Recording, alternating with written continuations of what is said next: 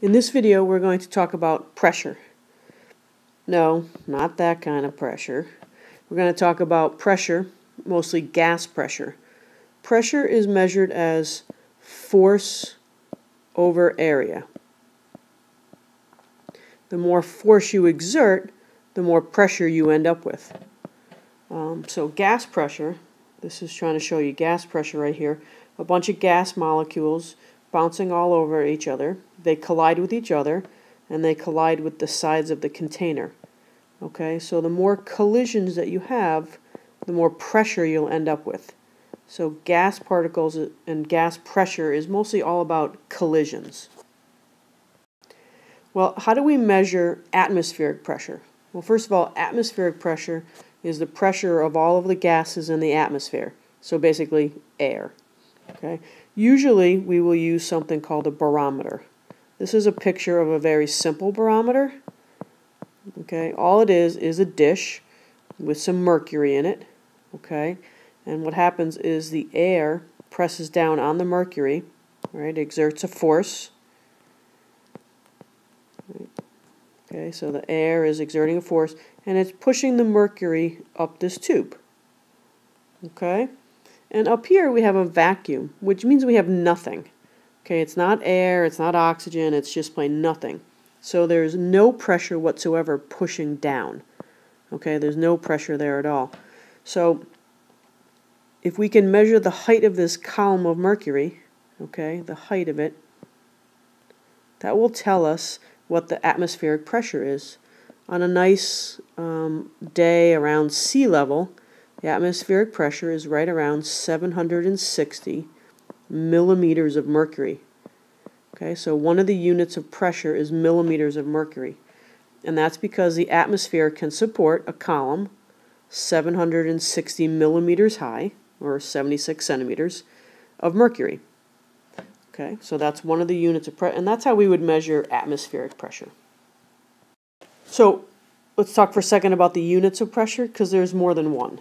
Okay, one atmosphere, okay, which we usually abbreviate ATM, is the same thing as 760 millimeters of mercury, or 760 torr. A millimeter of mercury and a torr are, are synonymous. Torr is uh, kind of the old school name, named after uh, Torricelli, who basically made the first barometer. Um, and then we've got also kilopascals.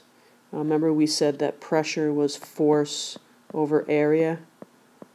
A kilopascal is a newton, which is a measurement of force divided by meters squared. Okay, so this is this is a fairly common unit of pressure, kilopascals. But we're going to use all of these interchangeably, and it doesn't really matter. So just to make sure we know how to convert between them, the pressure of a gas is measured as 49 torr. What's the pressure in ATM and in kPa? So we'll just take our 49 torr and do a little fun and exciting dimensional analysis. And one atmosphere is 760 torr, and that's an exact number. Okay, um, so that'll give us 0.064 ATM. Okay, and we can keep going if we want, and we'll convert ATM to kilopascals, which is 101.3, and that will give us 6.5 kilopascals. So easy to do, but you're going to have to convert between the different units of pressure quite a bit. We measure gas pressure. Okay, so let's say we have some gas in a tube, and we want to know its pressure. All right, get a better color here. So the gas is pushing on this column of mercury. Okay, it's trying to push it Uh, down and up the tube. And since there's a vacuum here, there's nothing pushing back. So let's say the height of this column right here is 100 millimeters of mercury. Well, what's supporting this column? It's being supported by the gas pressure. So whatever that gas is, we know the pressure of that gas is 100 millimeters of mercury. Okay, and this is what we call a closed manometer. Okay, a manometer is used for measuring gas pressure. And closed means it's closed up here and there's a vacuum, so there's nothing pushing against it. Measuring a closed manometer is very simple. The pressure of the gas just equals the height of the column. Okay? If we have an open manometer, so now we have the atmosphere pressing down, and we have the gas trying to push this up the tube. So it's kind of like a, a tug of war or a push of war, right? In this case, who's winning this? It looks like the atmosphere is winning, right? Um, if these were exactly even, then the pressure of the gas would equal the atmospheric pressure. But can you see that the atmosphere is winning by 30 millimeters? So let's say the atmospheric pressure is 760 millimeters of mercury. Okay, nice sea level. Then the pressure of the gas equals the 760 minus the 30. So it's going to be 730 millimeters of mercury. So again, let's look at a couple open manometers. Okay, so there's an atmospheric pressure pushing down in this case, so my gas is here, why don't we make it hydrogen for the heck of it? We'll make this one helium over here. The hydrogen is pushing down and the atmosphere is pushing down. And can you see in this case, the hydrogen is winning. This level is higher.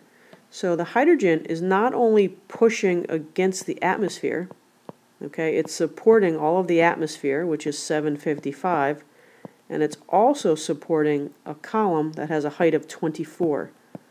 Okay, so this is going to give us 779 millimeters of mercury. So the pressure of the hydrogen gas is, is that. Okay, now this one over here, we can see that the helium is losing, right? It's losing by this height right here. So in this case, the pressure of the helium is the 763, right, that they gave us here, minus the 35. Okay? So that's going to be 728 millimeters of mercury. So just to summarize, if you have a closed manometer, the pressure of the gas just equals the height of the column. Okay? If you have open manometers, it depends. In this case, you can see that the gas is kind of losing, right? So the pressure of the gas equals the pressure of the atmosphere minus the height. Okay, over here the pressure of the gas is the pressure of the atmosphere plus the height. Okay, so those are that's how we measure um, atmospheric pressure and how we measure gas pressure.